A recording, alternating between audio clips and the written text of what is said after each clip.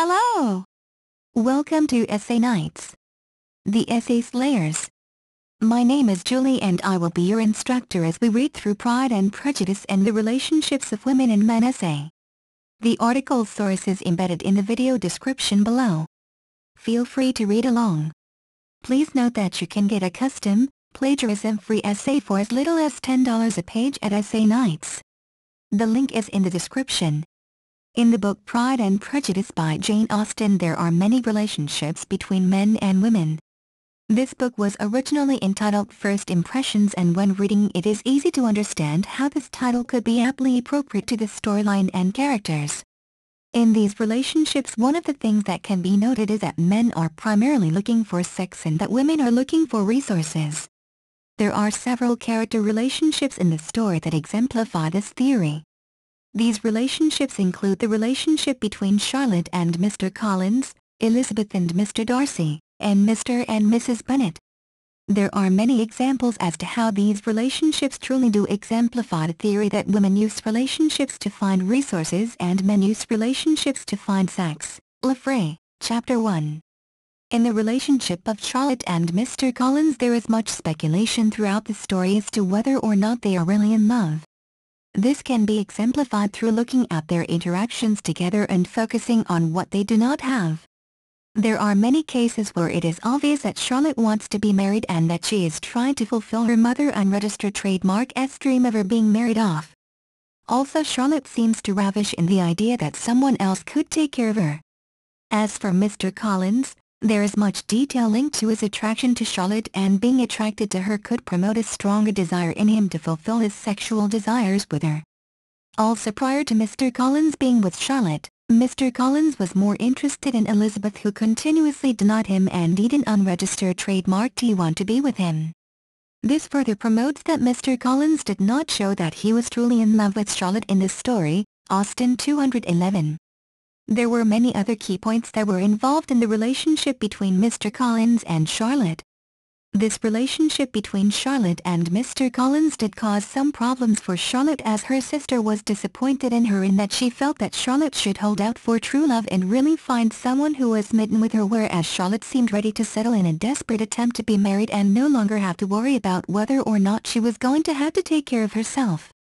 Charlotte seemed to be comforted by the fact that someone was offering to really take care of her and focus their energies on her well-being. In this fact it seems as though Charlotte was truly willing to settle for anything when it came to being taken care of and Mr. Collins was happy settling for Charlotte whom he found attractive and yet he was also able to encourage a relationship where he would be able to have passion in his own eyes. This relationship personifies the trend of the times that was when someone married for economic reasons rather than marrying for love, OE Pride and Prejudice. 3. In the relationship of Elizabeth and Mr. Darcy there are many different factors affecting how things. In the beginning it seems as though Elizabeth cannot stand Mr. Darcy, oh as if intending to exasperate herself as much as possible against Mr. Dacre. There were many other statements in the novel which would lead one to believe that Elizabeth indeed cannot stand Mr. Darcy. There are also statements in the novel to support that Mr. Darcy feels likewise and the same and that he too has no intentions of having a relationship with Elizabeth. OEMR Darcy, who was leaning against the mantelpiece with his eyes fixed on her face, seemed to catch her words with no less resentment than surprise. His complexion became pale with anger, and the disturbance of his mind was visible in every feature. The problems between Elizabeth and Mr. Darcy seemed to be that they both were headstrong and had big personalities in which they were not interested in being able to engage in a relationship together, Austen 313 and 314. Later through the novel the relationship between Elizabeth and Mr. Darcy develops and eventually, the second time that he proposes, they decide to be married. In this sense it seems as though Elizabeth holds out on marrying him until she believes that he is willing to initiate a relationship with her and he is willing to respect her for her thoughts and beliefs and not simply that he is attracted to her or wanting to be with her in a relationship. Another key factor in this relationship is that Elizabeth finds Mr. Darcy to be attractive, even when she is unhappy with who she thinks he is as a person, she still thinks that he is good-looking.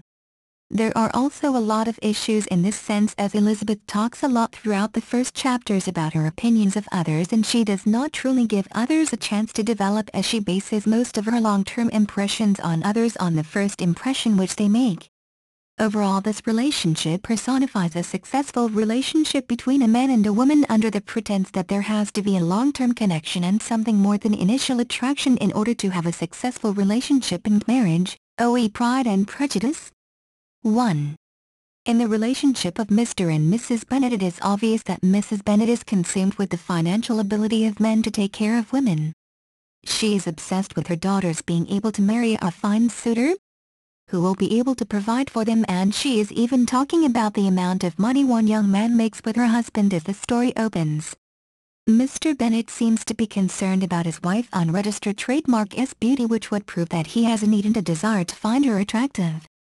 Mrs. Bennet unregistered trademark S only concerns for her daughters are that they be married off to wealthy men who can provide the best of life for them however she has poor public manners and many times her daughters are embarrassed by her. Also Mrs. Bennet unregistered trademark S actions really do keep some of the most suitable suitors away from her daughters as her actions are rather appalling to others and therefore they are typically wanting less to do with her daughters in fear of having to deal with her. In many parts of the novel, Mr. Bennet comments on his appreciation for Mrs. Bennet on registered trademark as beauty. In doing so he is portraying that he is truly attracted to her and therefore he would be interested in the sexual relationships that would be available to him with his wife. Austen 213. This relationship between Mr. and Mrs. Bennet personifies a relationship that can occur when someone focuses on attraction first.